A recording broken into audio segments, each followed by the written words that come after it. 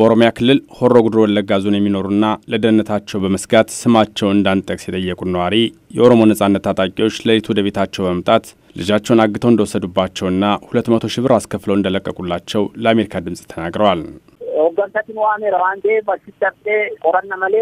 ዕድሜው 14 ዓመት የሆነ ልጄን የታጠቁ ሰዎች ሌሊት ላይ ቤቴ መጥተው ለጥያቄ ይፈልጋል በማለት ይዘውት ሄዱ። ሌሊቱን ስጨንቅ አድሬ ጠዋት ላይ በሰጡን ስልክ ስደውል ሁለት መቶ ሺህ ብር ይዘህ በመምጣት ልጅህን መውሰድ ትችላለህ አሉኝ። አሁን በዚህ ሰዓት ይህንን ሁሉ ብር ከየት አመጣለሁ?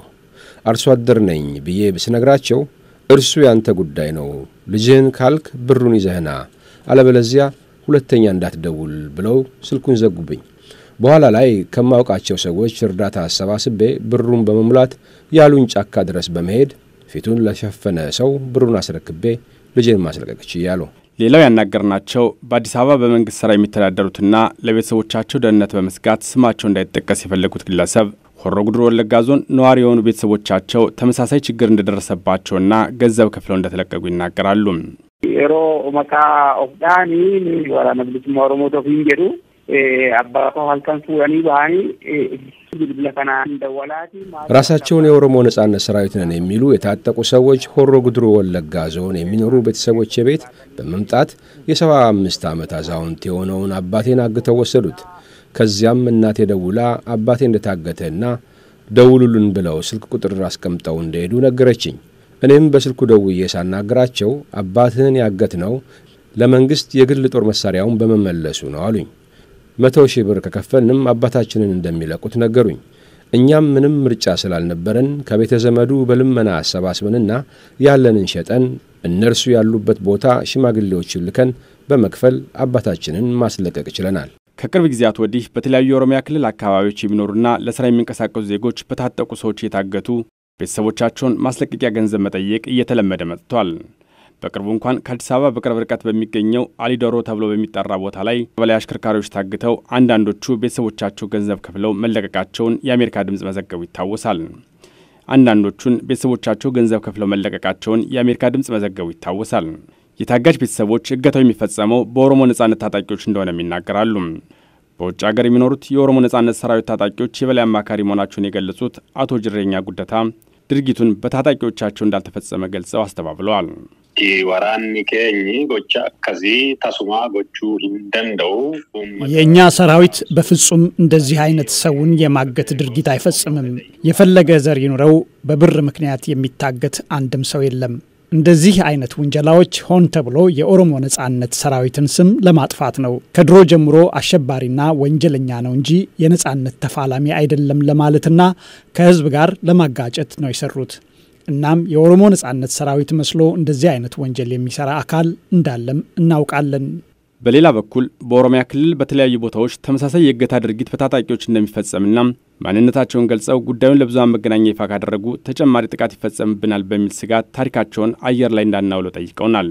በዚህ ዘገባ ላይ ያነጋገርናቸውን ቤተሰቦች ቢሆኑ ስለ ማንነታቸውና ስለተፈጸመው ድርጊት በዝርዝር ካስረዱ በኋላ የተፈጸመው ድርጊት ቀን፣ ከተማ፣ ወረዳና ቀበሌውን የገንዘብ መጠንና ማንነታቸውን ለመለየት የሚያስችል ሌላ ተጨማሪ መረጃዎችን አየር ላይ ካዋል በድጋሚ ጥቃት ይፈጸምብናል የሚል ስጋት እንዳላቸው ገልጸው መረጃዎችን በተመጠነ መልኩ ብቻ እንድንጠቀም ጠይቀውናል።